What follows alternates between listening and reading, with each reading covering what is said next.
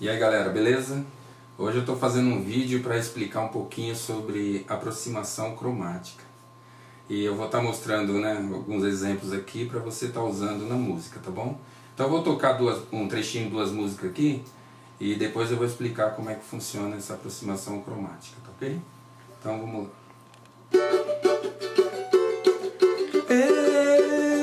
Gamação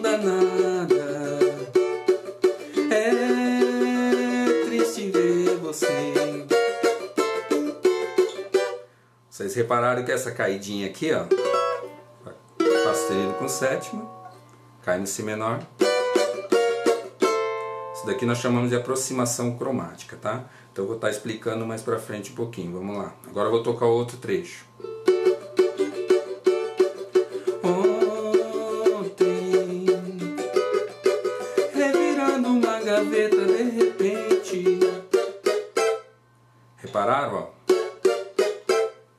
Aproximação cromática também. Então, no primeiro exemplo, né, que foi gamação danada, eu fiz uma aproximação cromática descendente. Peguei o Si menor, Si bemol menor, Lá menor, Ré com sétima para poder resolver no Sol maior. Repararam? Ó, Fá sustenido com sétima, aí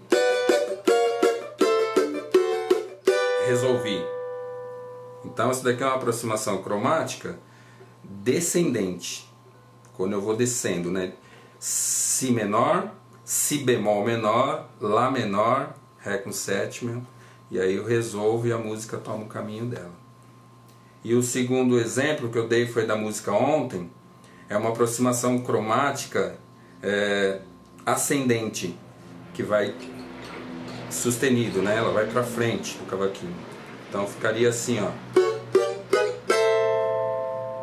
Isso daqui é uma aproximação cromática no sustenido, né? Então nós chamamos de ascendente.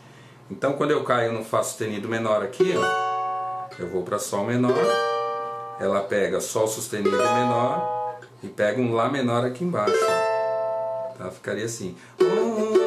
Ontem, revirando uma gaveta de repente super bonito isso aqui, né? Então você pode estar usando isso nas músicas, tá?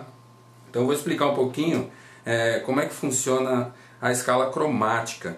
A escala cromática é, nada mais é do que é, aproximação de meio em meio tom. Por exemplo, aqui eu tenho uma corda Ré. Se eu apertar a primeira casa, eu tenho Ré sustenido. Segunda casa, Mi.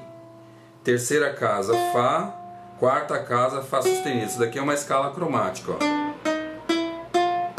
quando ela anda de meio em meio tom. Isso serve para as notas, né? Como também para os acordes, tá?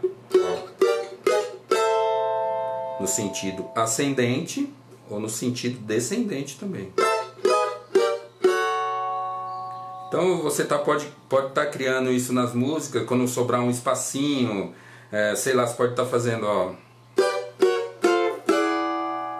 Sol, Sol bemol, Fá, sétima. Isso daqui também acontece bastante. Ó.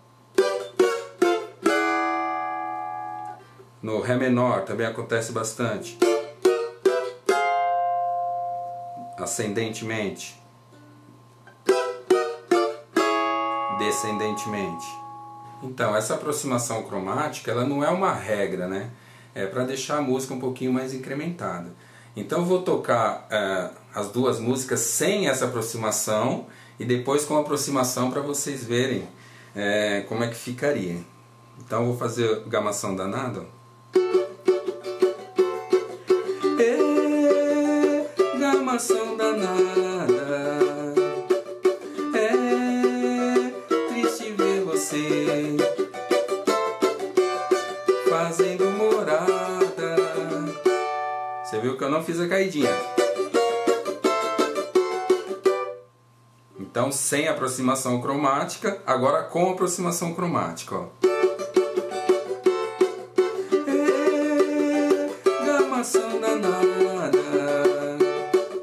É. É você.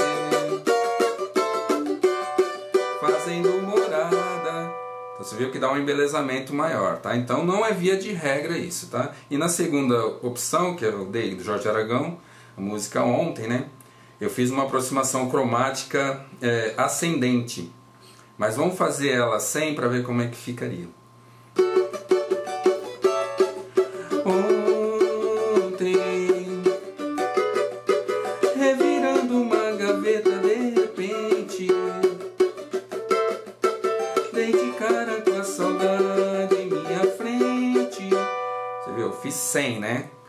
Agora eu vou fazer com aproximação para vocês verem como ela fica um pouquinho mais rica.